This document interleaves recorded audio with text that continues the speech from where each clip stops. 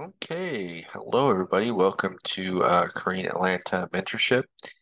And uh, in this video, we're going to talk about one of the most important topics that we cover in the channel over and over again, which is the topic of leadership. Um, I believe that lack of leadership, no matter what country you go into, even in the United States, no matter where you go, pretty much any business, lack of leadership is the number one problem of society. And most leaders do not understand their shortcomings in the field of leadership. And we're just going to kind of uh, delve into that and my frustration. So here's the thing uh, when I was a kid, I never ever thought I ever wanted to be a leader, right? I wanted to just sit back. I was pretty much an introvert, play some video games, watch some TV, watch movies, and then hang out and chill, right? And the only reason I ever thought about leadership is because some at a certain point there were people who I've interacted with, done consulting. There came a point where they all just kind of told me the same thing. They said, "Hey, uh, you're a great captain of ship," or "Hey, like you have incredible leadership qualities," like, and they just blurt out, or they blurt out things like, "You're the best." I'm like, "What?" I was never told this as a kid, and one of the re- reasons why um, one of the reasons why I think I got that kind of feedback is because there was a certain point in my life, um, as a young adult, where I was disappointed by every single, almost every single person who was supposed to either be a mentor, teacher, um, even a teammate. And I realized, wow, like I can't be the only person experiencing this, right? Like there just came a certain point where I just realized I had to step it up because if I don't step it up, at least for myself, I'm going to drown. Because if no one else is going to help me when I'm drowning, at least I'm going to teach myself how to swim. And then hopefully I'll teach other people how to swim. Right. And so that's really why I, I've really focused on the topic of leadership is because I'm here where I am because I believe that leadership qualities are easy to teach but a lot of the things that that make bad leaders are kind of uh, promoted in society. And it's really funny because I was watching this YouTube video about a topic kind of similar to this, although it, it's it's in a the the the some the channel has a very different direction from this one. But he was talking about that basically introverts are now forced to do the work of extroverts because society is kind of fallen, right? And so that I think that's where I'm at, where I'm originally an introvert, but because I was forced to be in a position where everybody was let, letting me down, now I'm faced to do the work of extroverts because who's who else is going to step it up, right? So just going off of that, um, you know, we can kind of clearly see why that's a topic I'm so focused on. Okay. Now, if you ever type in Google lack of leadership, um, there's an interesting um, explanation here where it says, uh, you know, what is a lack of leadership? It's the ability, inability to lead, lead, and you know, the lack of direction. So this often stems from a leader's own lack of vision and goals. Not setting goals, unclear expectations, visions, and directions leads to frustration and confusion on both ends. And that's how I felt many, many times when I expected to either learn from someone or work for someone or you know, um, just hoping that that they would provide like provide for me something because they were in a position of uh, implied leadership. And then again, experiencing that for many, many years, you just realize, okay, I, I have to step it up. I have to learn this skill that is obviously lacking wherever I go. And or else I'm just gonna be frustrated for the rest of my life. Right. So the reason that I think there's such a lack of leadership is because, um, and this doesn't just apply to leadership, this applies to many, many things, right? Is that people don't just want the benefits of something, but they don't want the responsibilities. And you kind of see that kind of attitude everywhere, which is why most things are a mess, right? So here in this list is kind of uh, examples of lack of leadership that I think I've experienced, but I think you've probably experienced that some of your life from some part of your life too.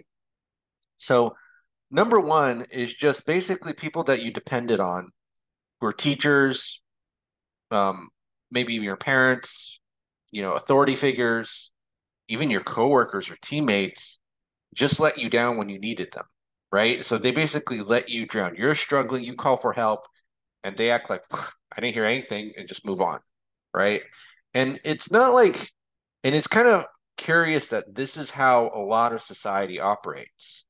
I'm just blown away that that most people, and that I think that's why so many people just isolate and are depressed because you know the people that they were supposed to depend on, which is your essentially your tribe, just not was not there for you when when you needed them. Okay, and again, I think the bar is so low I really think the bar is so low that if you just do the exact opposite of things that I'm going to talk about, you'll stand out above above 95% of the population. You'll you'll seem to have these leadership qualities, and if you can establish your own business, no matter what field you're in, where you do the exact opposite of the things that I'm talking about, you're essentially going to win. You just have to have a little bit of perseverance. You may have a little people making fun of you for a little bit because you're doing things a little bit differently from other people. But if you just do the exact opposite of what I'm talking about and you're able to stick the landing and and persevere, you're gonna you're I think you're gonna make it big. Number two, treat so as a leader, you treat your mentees, employees, tenants, students, or whoever that you're assigned to chart take uh assigned to take care of it like annoyances, right? So I remember many, many times in my life where people will, will kind of do this thing where it's like, yeah, I'm here to help you. And then like I ask for that help and they act like they're annoyed. And I'm like, okay. And then so thanks for training me like to to not reach out to you, right? Uh, but here's the thing, right? The, the secret to getting people to pay, especially if you're in some sort of like a consulting or authoritative position like a landlord is just to quickly respond to um, to anybody you know a paying customer's concerns or needs right? If they're not a paying customer then you can kind of wait a day or two but if they're a paying customer you gotta you gotta attend to their needs right? So that's why my tenant pays six months in advance she bear that that you know that tenant barely um bothers me or sends me a message, right? It's like once in a blue moon. But once I get that message from the tenant, I am on it, right? I am on it because I want to see that six month check as soon as possible when the rent is due. And I know if I uh, address the tenant's concerns as possible, somehow the, the paycheck, the, the, the, the rent will slip out of the tenant's hand and into mine. Whereas if I take my time and drag my feet and, and try to say, well, you know, this is your fault, blah, blah, blah, you know, human psychology kind of works in strange, mysterious ways where that rent check isn't going to slip out of the tenant's hands so easily. Right. And that's what I mean. Like, you know, you don't treat the people you're assigned to take care of as an annoyance. I remember every time I've experienced that behavior, I mentally checked out with the people who did that to me and they act like they couldn't understand why. But if you look at the statistics, you know, out there, you know, there's that quiet com- uh, quitting phenomenon where people just check out because, again, there's that lack of leadership um, to the people who are meant to be led, right? So you cannot treat anybody, especially the people you're assigned to take care of, especially paying customers, like they're annoyances. But this happens in business all the time right? And that's why I said, like, hey, if you just do the exact opposite what I talk about here, uh, you're gonna win. Okay. So number three, one of the things that leaders are terribly bad at is that they feel like they have to be the smartest person in the room. So if you ever read the book, The 48 Laws of Power by Robert Greene, um, the number one rule it says never outshine the master, right? And and Robert Greene, I saw his interviews. It's like, oh, I worked in many many industries, and you know, uh, especially in places like Hollywood, it's so Machiavellian. And I'm thinking, you know, this is just me being selfish and lazy.